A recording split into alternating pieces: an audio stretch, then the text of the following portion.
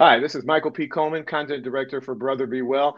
Thanking you for checking out this series, this trauma and healing series brought to you by Blue Shield of California's Blue Sky Initiative.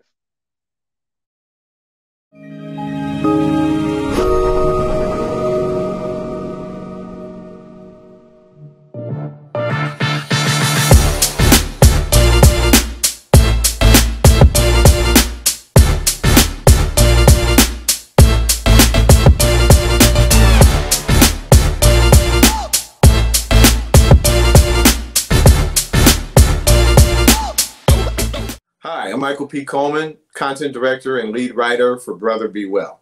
Today, we're talking with Justin Martinez, a youth advocate and Brother Be Well content contributor, and he's got an inspirational story of trauma, resilience, and recovery. He's also a great friend of mine. Justin Martinez, how you doing today? Really good, Michael. Never better. Thank you.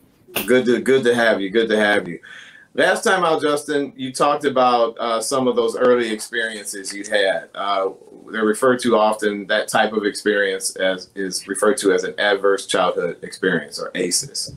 Um, they result in toxic stress in children who have been exposed to situations like parental incarceration, substance mm-hmm. abuse in the home, sexual abuse, violence, neglect, etc. Yep. I'm wondering, given what you experienced in your house and at the very young age in which you experienced it, were you even aware of ACEs at any point in time while you were growing up? And were you aware of them during those most difficult times? No, definitely not. Uh, I just uh, learned about ACEs in college um, last year, actually, about a year ago. Um, it really opened my eyes to studying what it is and how it's affected me in particularly. Um, but ACEs, yeah, I identify with seven out of the 10 aces. So the quiz, there's 10 questions and, and, and I identify with seven. So definitely um, toxic, toxic stress environment, you know, and it, um, it's led to difficulties uh, in my life that I've had to overcome. Justin, you, you've, uh, you believe that your exposure to ACEs uh, mm-hmm. has led to some chronic health problems. Um, yep if if that's true, it's it's textbook. A lot of people suffer from chronic health problems that have experienced ACEs. I'm wondering, taking a look at you, your average person wouldn't realize that you've got chronic health problems. So mm-hmm. you talk a little bit about how your physical body deals with some of those early childhood experiences and how you manage that today. Yeah, absolutely. Uh, once I learned about the toxic stress and the correlation between toxic stress and autoimmune disease um, in the in the body, uh, it really kind of clicked for me. Uh, the light bulb went off.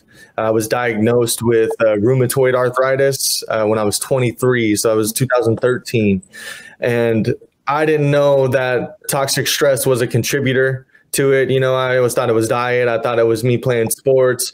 I thought it was inherited, which are all possibilities. But um, when I learned about the toxic stress related to ACEs, I knew right then and there that, you know, that was definitely a contributor for me in my life with rheumatoid arthritis, which is an autoimmune disease that um, attacks the joints. It attacks my wrist. It, it's attacked my foot. It's attacked my hip. And I've had five surgeries in the middle of my 20s related to this uh, autoimmune disease. Wow. So, yeah, definitely um, toxic stress is a contributor to inflammation in the body and, and autoimmune diseases. So, it's good to be aware of. It, it, absolutely good to be aware of. Justin, if anybody, if you'll allow me to say, if anybody's an expert on coping with trauma, you would be one of those experts. So when we next sit down, we're going to talk about a little bit uh, your exciting and for me uh, transformative uh, ways of dealing with trauma. If you're open to that. Absolutely, Mike. Thank you. Absolutely. Listen, Justin, thanks a lot for being with us today. Really appreciate it. And Absolutely. my name is Michael P. Coleman again. I'm content director with Brother Be Well. If you if you're curious about Brother Be Well and you want to find out what we're up to, go to mentalhealthca.com org. In the meantime, I want to encourage you to take good care of yourself and somebody else. We'll see you next time. My pleasure.